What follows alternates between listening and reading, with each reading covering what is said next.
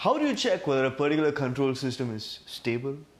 Well, my name is Rishi Remju. Welcome to the Backbench Engineering community, where I make engineering easy for you. So, let us ask ourselves that obvious question. How do you actually check whether a particular control system is actually stable?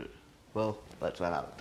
So, in order to check the stability of a particular linear control system, there are a set of criteria that a particular control system must follow. So what are these criteria? Well, let's find out what these criteria are. So the first criteria that a particular control system must obey is the fact that for a bounded input, it must produce a bounded output. That is very simple. That is, let us consider that we have a finite amount of input values, say 1 to 10.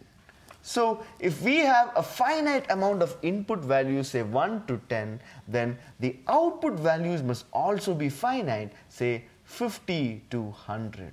Let me make that even more simplified for you. So here, let us assume a particular graph like this. So now here, let us assume the values from say 0 to say 10. So here this is the input. So here for this particular value of the input, let this amplitude be the output. So here if this, we are obtaining a graph like this over here, then what we observe is that for each value of this input, the output is bounded. That is, it will have a maximum value and a minimum value.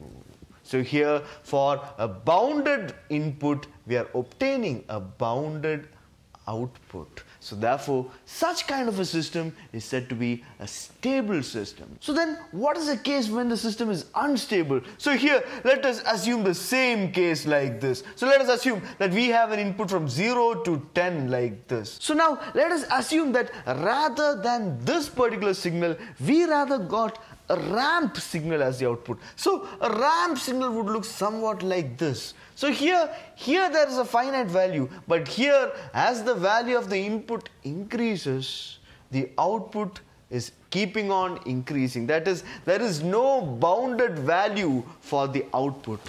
So therefore here for a bounded value of the input there is no bounded value of the output as it keeps on increasing like this. So therefore this is an unstable system whereas this is a stable system. So therefore writing it down we can say that a system is stable when a particular bounded input of values produces a bounded output of values. So this is the first criteria control system must satisfy in order to see if it is a stable control system. So next, let us consider a particular control system. So here, let us assume that we are giving a particular input and let us say we are getting a particular output value like this. But at this particular point over here, let us assume that we are removing the input value. So the input is only till this much. So at this particular point, we are removing this particular input. So when we remove this input, if this particular output of this control system slowly tends to zero, irrespective of the initial condition over here when the input was present, then such kind of a control system is what you refer to as an asymptotically stable control system. Very simple, guys. So, a system is said to be an asymptotically stable system if, in the absence of a particular input, the output value of this particular system tends towards zero. So here it tends towards zero like this irrespective of the initial condition of that particular control system. Such kind of a control system is simply what you refer to as an asymptotically stable control system. So the next criteria for the stability of a control system depends on the transfer function of that particular control system. So here the transfer function of a particular control system would look like say t of s is equal to a particular numerator divided by a particular denominator. So here the value of s for which the numerator becomes 0 is what you refer to as zeros of a particular function and here the values of s for which the denominator becomes 0 is simply what you refer to as poles. So here when we consider a particular s-plane in which here we have sigma and here we have j omega,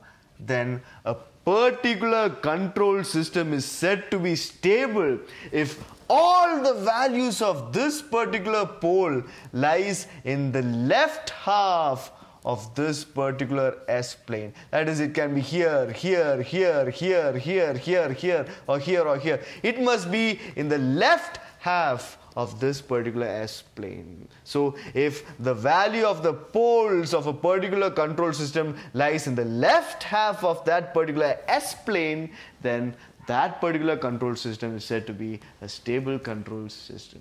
So putting it in simple terms, here this is the imaginary part and here this is the real part. So in the case of a stable control system, the poles must have negative real parts. So a control system is said to be stable if all the poles are located on the left half of the S-plane. So here, let us assume that the pole of a particular control system is here at say S is equal to say minus 3. So let the pole of a particular system A be at S is equal to minus 3. And now if for another system say B, if the pole is at say S is equal to minus 1, then system B stability is less than system A. That is, as the value of the poles go towards the zero of a particular S-plane, then the stability also decreases of that particular control system. So, as the poles approaches zero, the stability decreases of a control system. So now,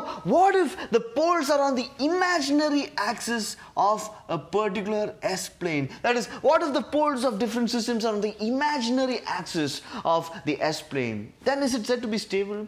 Then if the poles are on the imaginary axis, then they are said to be marginally stable considering the fact that these poles do not repeat. That is, this cannot be plus 2 and minus 2. This can be plus 2 and minus 3, but these can't repeat. So here, considering the fact that they are not repeating poles, if they are on the imaginary axis, then they're said to be marginally stable. So when the poles are on the imaginary axis of the S-plane, then the system is said to be marginally stable, considering the fact that the poles do not repeat. So now let us assume that we have two poles over here like this, say S is equal to minus 3 and say S is equal to minus 1. So here the pole which is closest to 0 is called a dominant pole. So the poles that are closest to the origin are called the dominant poles. So these thus are the various criteria a control system must satisfy in order to be a stable control system.